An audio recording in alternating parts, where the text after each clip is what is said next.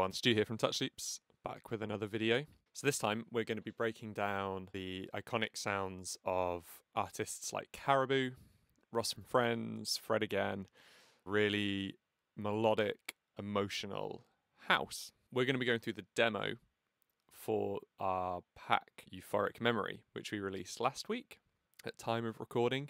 It was a pack that I put together, and as I was making the demo, I thought there's so much in here that I think is quite useful if you're trying to make this sort of music. A lot of techniques within Ableton, uh, a lot of the plugins that I use to achieve this sound. So we're going to go through all of that.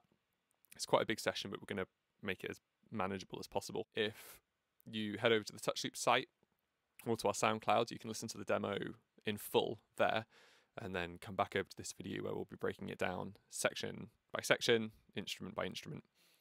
So yeah, let's get into it. So here's the demo. Uh, as you can see, it's not the hugest session, but uh, there is a lot going on within these drum groups, and a lot of these synth sounds uh, and bass sounds are quite CPU intensive. You're going to see I'm juggling things on and off to try and keep keep it all running. Uh, but yes, we've broken it down into beats, bass. Uh, these are all sort of the um, synths and organic sounds, the the musical content really, and then um, some vocal stuff at the bottom, which we'll do last. So let's jump into the beats.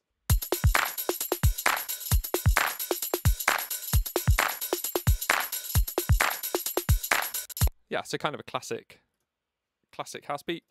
Uh, so it's made up of four elements. Let's go into the drum rack first. Uh, oh, here we are.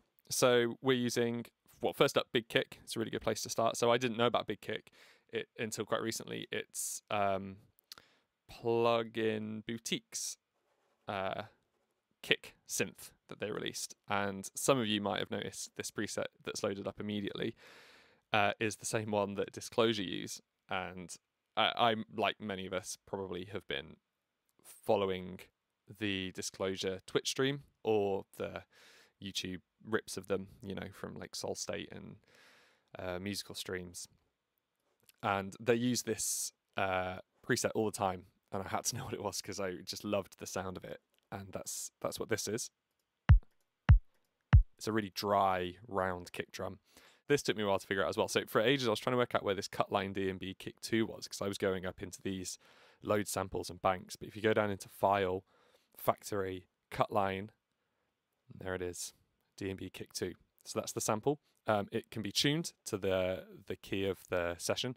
It's got this Guildford Attacks 53 for the uh, top the top sounds. This is the synth kick, and then this sample here is the the attack the the attack sound. And then this is the the presets for the shape of it.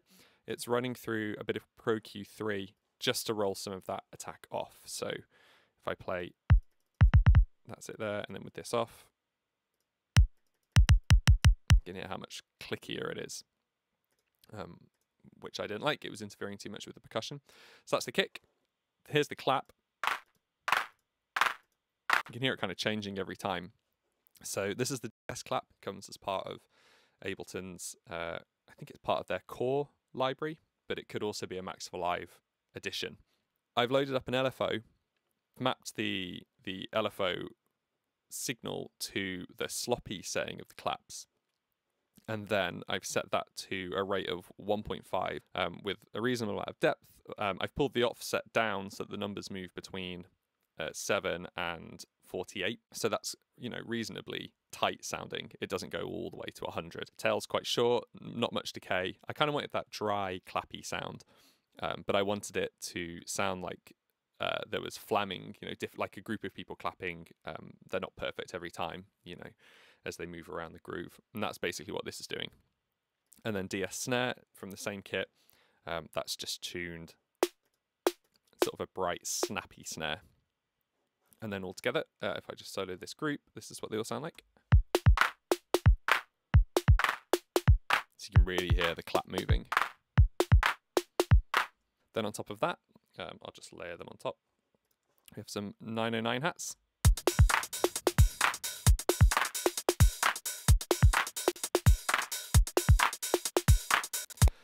Bit of a chain on these. I'm rolling off everything under 100 because nothing under that is necessary for this sound and it'll just be muddying up where the kick is. Driven through a bit warmer, which is a preset within the saturator, saturation plugin within Ableton.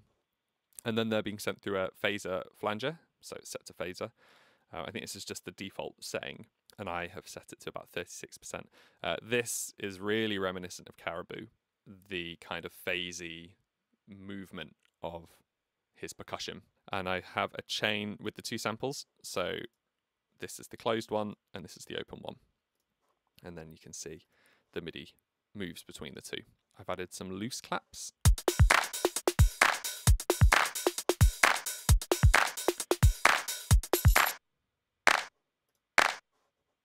So this is uh, something that I built. So this is a uh, simpler and it has a waveform in that is all of my favorite claps. I've set it to slice mode so that I can, uh, if I get my keyboard here, I can play through all my favorite clap sounds on one keyboard or MIDI clip here. So if I move all of these up, so this this is what they sound like.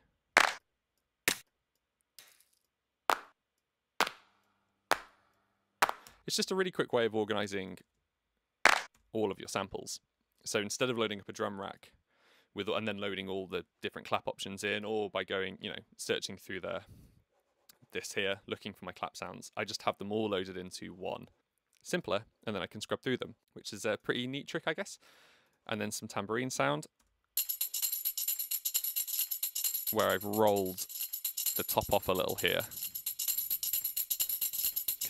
far too bright. And that kind of deadens it a little. Altogether, that's beat one. On the group, I've put uh, Pro Q3. Again, just rolling a little bit more of the top end off. There's this, uh, you see that spike there that I didn't want. Uh, and then it's being run through the uh, API 2500, which is a UAD compressor, bus compressor. We've kind of got a reasonably long attack because I didn't want to lose any of the transients. Uh, it's compressing three to one, so pretty gentle and a really fast release. The threshold is set to hard, but the uh, this detector thrust tone thing is just set to medium, old uh, feedback type, and uh, then it's just getting staged as well. So I'll turn it off and on so you can hear the difference.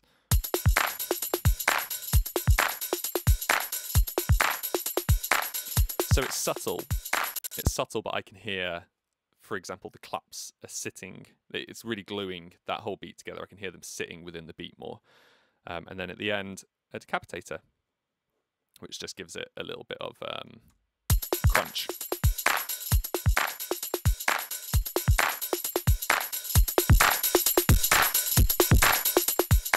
You know, that really tapey crunch sound. Okay, beat two.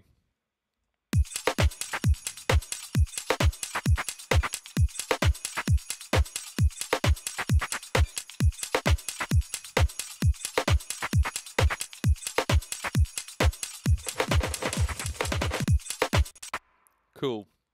A bit more of a garage vibe here. So let's break it down. Uh, some acoustic bells, which are from the pack, which I've imported into the demo. Really nice, just adding that organic quality.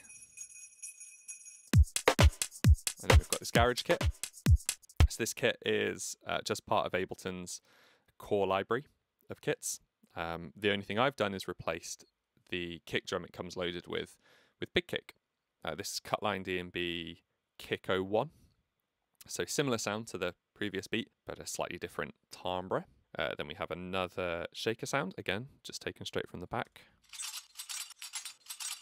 Rolled off some of the top end here. I've also used LFO tool to sidechain it. Um, sometimes I like to use LFO tool over setting up a sidechain from this kick. I mean, this kick would be a really good candidate for a sidechain because it's so it has a strong attack and very little uh, decay and release, so a really good clean signal. But I like to use LFO tool. Um, you can really shape the smoothness and um, you know the overall shape of the sidechain, um, which sometimes I find preferable to using to having to set up, you know, a, a sidechain signal send and then the compressor and everything. It's just a bit quicker. And then uh, here's the first instance of smooth, uh, Soothe. It will analyze this frequency and um, dynamically reduce harshness in certain sounds. So instead of you having to go through and set up a bunch of nodes where you hear um, problems, it will just move around and, and listen and be constantly adapting the signal. So uh, let's listen to it. Yeah, so there's all this here. So if we listen, this is what it's removing, this, this resonance and harshness. Last part of this beat is Analog Labs. This is our first instance of uh, Arturia's Analog Lab, which is all over this demo. You're going to hear it a lot. Um, it just is full of classic uh, synths and um, drum machines and things. But interestingly, this clap sound, if I check we have it soloed, yep, this uh, clap sound.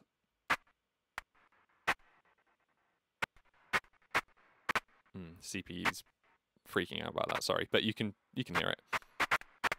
So it's just a noise, effectively. It's a noise oscillator that's being uh, shaped and things. So you probably heard here the first time the beat kind of goes a little bit weird. So if I uh, press A and switch over to automation view, go to portal, we can see what's happening. So this is uh, some automation set to dry wet. This is portal by output, by the way, a really great effect unit. Um, I don't really know how to describe it. It uh, just rips apart sounds. Um, so it's set to this scanner setting. If we have a look a little bit more deeply at what I mean, it's doing loads. But basically, it's a granular delay that's stretching and grain delaying um, the sound as it goes through, almost randomly by the looks of it. So let's have a listen. Yeah. Absolutely nuts. Uh, that's being run through Decapitator, like beat one. Um, so that's that setting there, if you want to know what it is. Uh, again, another instance of the API 2500, which is compressing, squashing everything, giving it character, and exactly the same settings as well. Uh, pretty much, it's compressing slightly harder, so a 4 to 1 ratio, um, but same nice slow attack to let everything through before it starts compressing, and a nice quick release. Pro Q3 again, just dipping some of this high end energy. Um, I have a real problem with overly bright percussion. I really like it to be dull. Some transient shaper at the end, or transient master by Native Instruments. And this is rolling off the attack. Uh, so all of these things stacked up together were becoming quite. The, the transients were overly bright and overly hard hitting, and this is just smoothing them out. See if I can play it with and without.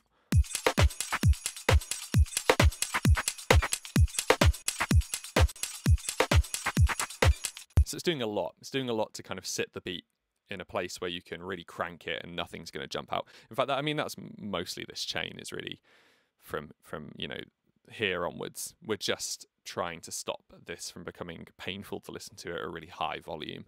Um, you know, tamping down the very high end, rolling off the transients, uh, compressing so no sound jumps out too loud. So beat three.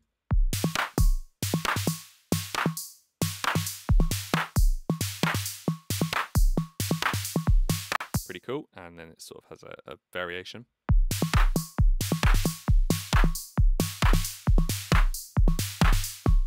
Nice. Uh, nothing on the group here. And uh, I think, so this, uh, we'll do this one first actually. So this instrument rack is the DS drum kit, again, part of Ableton. So we've already heard the clap and the snare uh, separately, but this is just the whole kit. Has a really nice dry synthesized sound we're running it through Soothe again.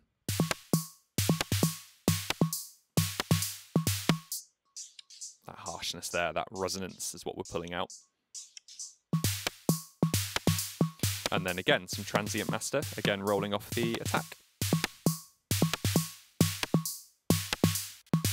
Pretty straightforward. Uh, and then the drum rack, which I've made, is again, big kick.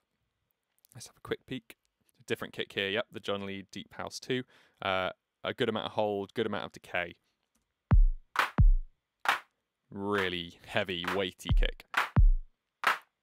And then the DS clap is, again, we've used it earlier. This time it isn't being LFO'd or anything. I just wanted kind of a rigid clap amount. Woo! Let's put them together.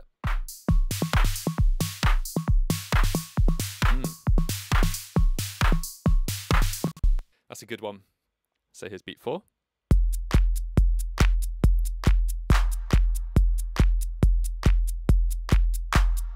Yeah.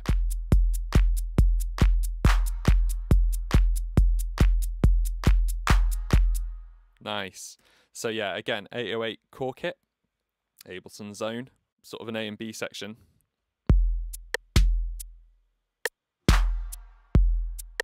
Section A, section B.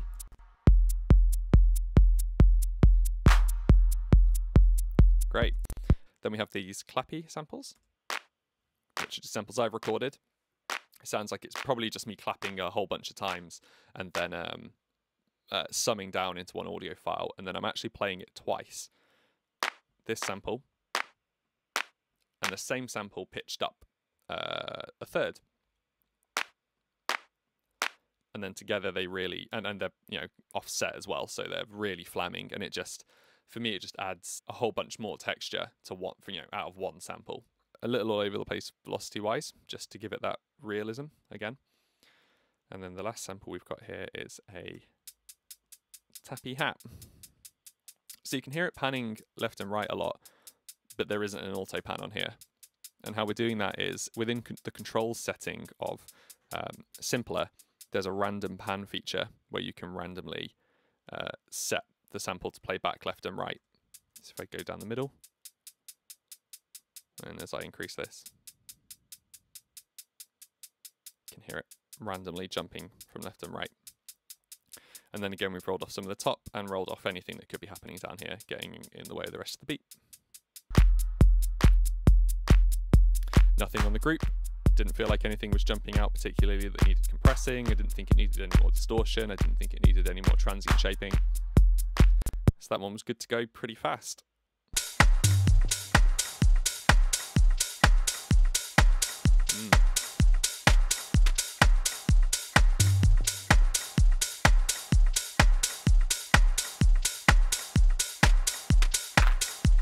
Nice. So we're bringing back the same uh, clap from earlier, this LFO controlled DS clap. And then this beat is mostly made up of uh, audio loops from the pack, which I, I've already made. This kind of cool textured loop, top loop.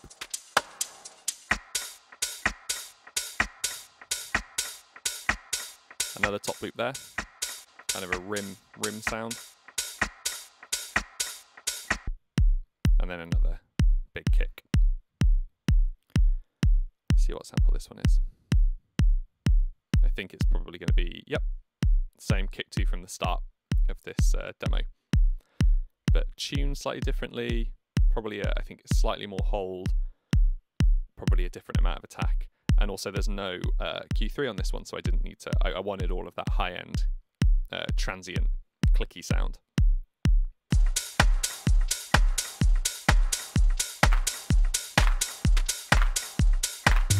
Nice. So, there the beats. So let's leave it there. Uh, we'll call this part one.